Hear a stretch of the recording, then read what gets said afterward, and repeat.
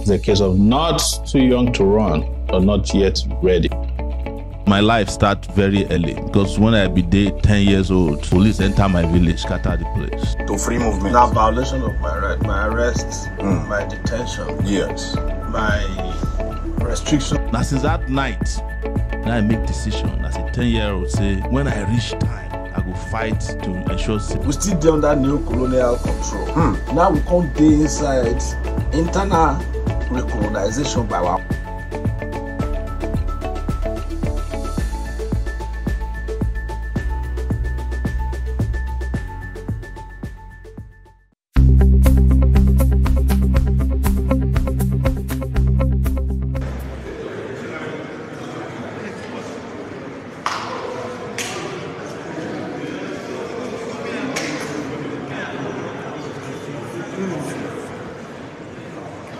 and gentlemen, this is the face of the uh, Leonard Ezenwa, the guy who uh, was sent to hijack the party African Action Congress. That's his face. Is the one on art going behind uh, with his lawyer, and these are his people too.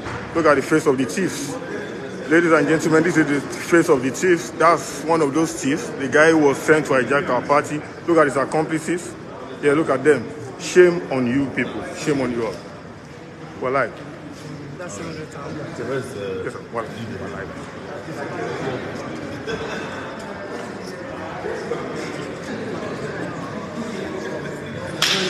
like. The High Court judgment is the. That's when you read the issue of the our position was that the same issue that the appeal. So there's no way they can carry the Court judgment and say that they are only children that are not been set aside. The model God specifically the set aside to have It's very, it's very important.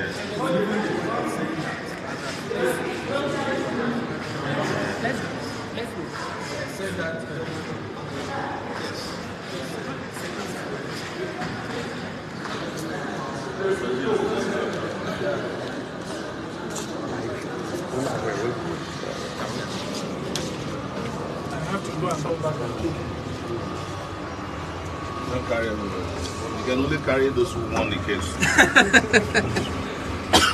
in it. Thank you. Great guy.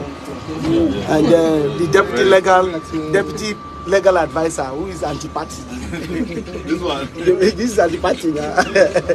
Uh, and he's going to be governor in 2027. Oh. He go, meet, he meet us. Go meet us. I will deal with him.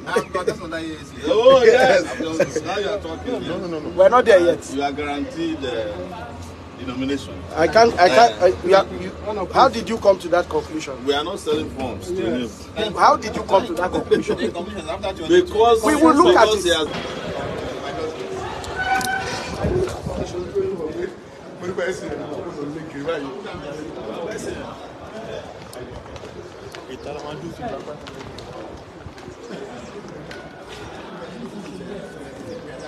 Why would he rest?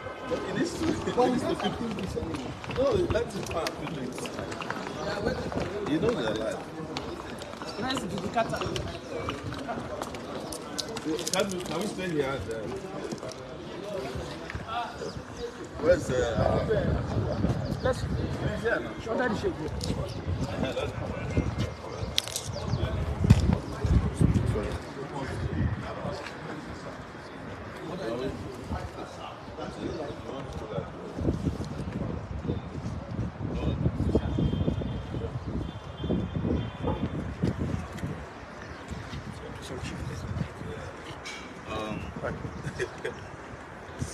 can you uh, tell us what? no, issue.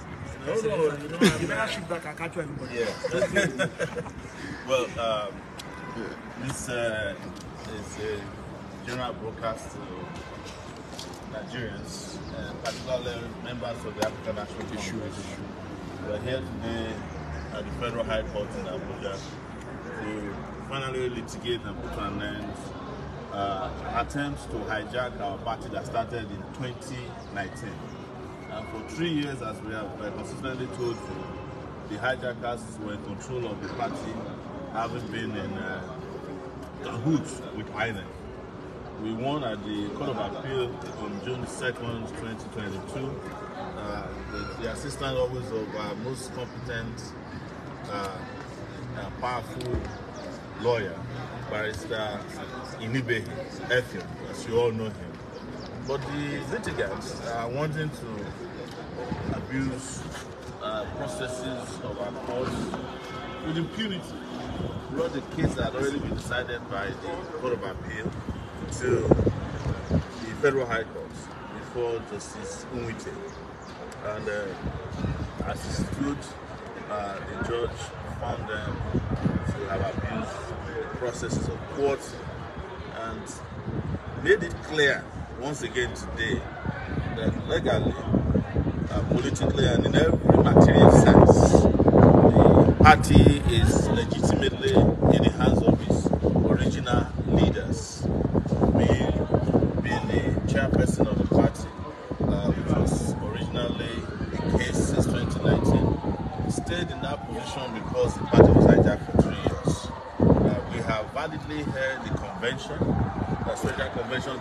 uh, nominate a presidential candidate for the party and other uh, candidates for the party.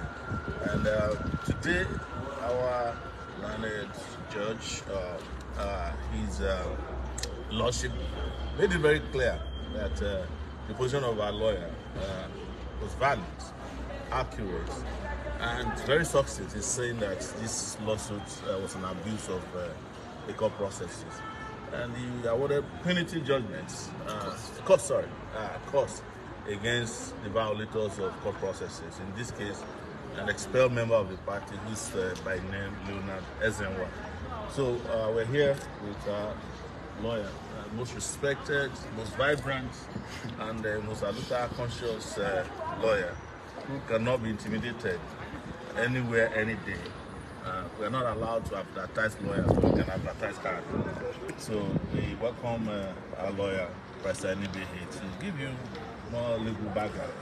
And uh, thank you very much uh, once again for doing the great job that Thank you. you are known for. doing. our presidential candidate, national chairman. Uh, gentlemen of the press, we came to court this morning before the Federal High Court in Abuja for judgment in yet again another lawsuit filed by one Leonard Zenwa, who was expelled from the African Action Congress right?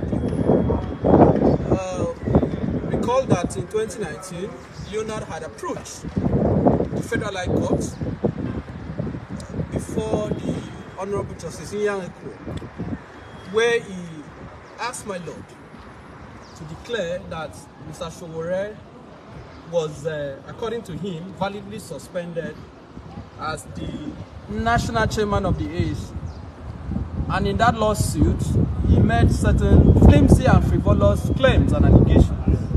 One of which, I need to make this point clear to Nigerians, according to the Leonard one was that Sowore had uh, misappropriated or had embezzled party funds. But because in the African National Congress and as the national legal advisor of the party, I know as a fact that Showore never misappropriated, he never embezzled, he never took party funds or campaign funds as alleged by Leonard. This allegation was false because for him, that was one of the reasons he claimed Showore was suspended, even though there was no evidence of sin. Of course, the Federal High Court entered judgment in his favor. The Honorable Justice Yanko entered judgment in his favor. And we were rightly aggrieved by that judgment. We consequently approached the Court of Appeal in 2019, asking that the judgment of the Federal High Court be set aside on several grounds, principally on lack of subject matter jurisdiction, on the grounds that the case was against the weight of evidence, and of course on grounds of breach of fair hearing. In a well-considered judgment, the Court of Appeal this year, I think in June, June 2nd. June 2nd, unanimously, there was no dissent, agreed with us that one, the judgment of the Federal High Court, wherein the purported suspension of Sowore was affirmed, was entered in error. in that one, the Federal High Court lacked jurisdiction to meddle into the issues of the leadership of the AAC. The court didn't stop there. The Court of Appeal went further to hold that the constitutional right of Showore to fair hearing and that of Dr. Malcolm were breached by the Federal High Court by its judgment. And the court even went further to award the sum of 200,000 against Leonard Edenwa, which effectively restored Showore as the national chairman of the AAC, and by implication made nonsense of what has always been a false claim that Sowore did not account for party funds. Of course, dissatisfied with that judgment, Mr. Leonard approached the Supreme Court, which uh, appeal is still pending, and then sought to have the judgment of the Court of Appeal overturned. He has not succeeded in doing that, clearly realizing that going to the Supreme Court was a waste of time, given the clarity, given the lucidity with which the judgment of the Court of Appeal was entered, the reasons and the reasoning that cannot be faulted, that cannot be controverted in law. Leonard made an about face, returned to the Federal High Court this year, and then filed a fresh suit wherein it asks that the Federal High Court should again recognize him as the national chairman of the AAC, stop Mr. Showore from being the presidential candidate of the AAC, and several other reliefs which, as we rightly argued before the court, were ungrantable in law. We raised an objection to that suit on several grounds, including lack of jurisdiction, including abuse of court process, and of course the doctrine of res judicata.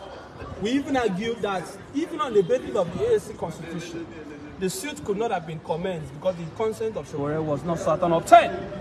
Issues were joined, and today, thankfully, my Lord, the Honorable Justice Nwite, in a well-considered judgment, has again agreed with us that Leonard is a meddlesome interloper, is an agent of illegality, is a man with an uh, unquenchable ambition, political ambition that is also insatiable. As a matter of fact, if you listen to the judgment, my Lord used very strong language to deprecate what is clearly an act of illegality. My Lord even excoriated, you know, in some way, the lawyers to Mr. Leonard, who we had warned should not have brought this suit. And then the court did not just dismiss the suit. The court restated that, that today, in law, the only national chairman of the ANC is Mr. Moyele Showore. And that indeed, any claim to deprive Showore of his position as national chairman of the ANC is unfounded in law. And that except the Supreme Court upturns the judgment of the Court of Appeal, Showore will remain the national chairman. The court even went further to dismiss the suit and awarded punitive cost of 500,000 against Mr. Leonard Ntima. So this is a caution to Nigerians out there. Do not listen to any contrary information. You can see we are saying this live from the Federal High Court. We have defeated him at the Court of Appeal. Today we have defeated him again at the Federal High Court. And his history of defeat is not going to change because when you are pursuing a course of action that is not founded in law, a course of action that is actuated by malice, that is actuated by falsehood, you are bound to fail. So in summary today, we have again won another victory for the Nigerian people. But we now have an alternative, a credible alternative in the platform of the AAC to allow Nigerians with ideology, Nigerians who have a different mindset, to come and seek their mandate in the 2023 election. So this is me telling Nigerians that, that today, the court has said clearly that nobody can stop Showore from being the national chairman and the presidential candidate of the party. And people ask the question, why is he holding to our position? I think this is a good opportunity to address that. So that this argument that Showore is the chairman, Showore is the spokesman, Showore is everything in the party is actually false. In 2019, the ANC held a national convention to elect its first leaders. In that convention, Showore was unanimously elected as the national chairman. But when we went on, on the confession ground, the same Leonard made an attempt to hijack the party. Right? So when members of the party saw some money bags coming in, some external persons trying to hijack the party, they said no. Because he wanted to be the national chairman. They said no, that if we allow this desperate individual, he's going to make nonsense of the party. So they allowed Showore to continue to remain as the chairman of the party. And of course, Showore also became a national chairman. But in the course of that, he went to court and got a judgment saying that Showore was no longer the chairman, the national chairman of the party. So it is a question of law while Showore holds dual position. It is not, in fact, Showore, I can tell you, has repeatedly said that he's very willing to relinquish the position. The reason why the dual position remains is because of this litigation that Mr. Leonard had triggered. So please get it from me clearly that once again we have defeated the agents of impunity, we have defeated the disciples of falsehood, and we have again won victory for the rule of law and for members of the DAC. And of course, you know, we are very grateful for the support of Nigerians and the party. And I must also thank my colleague, Yes. the Abuja business lawyer, as I call him, S-A-N. you know, who has uh, been very supportive in this cause.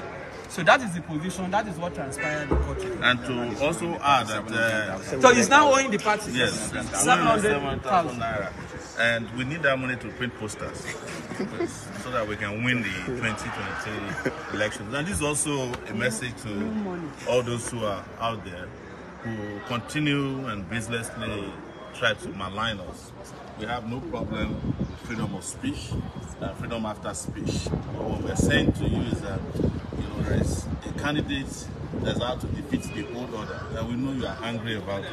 That you know your candidates are not able to speak to the issues affecting the Nigerian people, and that they don't have the credi- credibility and integrity uh, to carry through to 2023. We'll make it happen. We want to thank uh, party members. So many of them have suffered, uh, yes, a lot uh, in the hands of these hijackers. Uh, we want to thank Nigerians who have constantly believed us because they know we have integrity. And we thank all of you uh, who are waiting for this kind of judgment so that you can jump on the bad wagon. That there's no legal problem affecting us anymore. If uh, you want to look for legal problems, you can go to the major parties. Uh, that's where all their members are involved. So-called major parties. Uh, when I say major, I don't mean that a major in failure and incompetence. So thank you guys so much. Uh, and uh, once again, uh, thank you, uh, our lawyer, who has been doing great job. And um, you know him. You, you know, I don't need to explain him to. Like I said, I can't advertise him as a lawyer, but I can advertise his integrity. And love you. Thank you so much. Nigeria they use computer. The leaders of Nigeria they use radio where they turn the knob.